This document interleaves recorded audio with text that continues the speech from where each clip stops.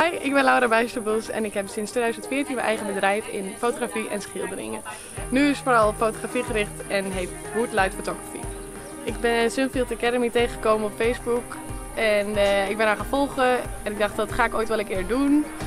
Maar toen kwam die stap toch steeds dichterbij dat ik het gewoon echt ga doen.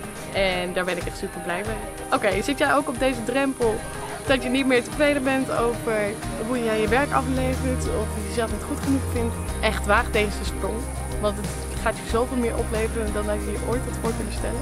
Ik ben er in ieder geval super tevreden mee en uh, veel gelukkig naar deze boek.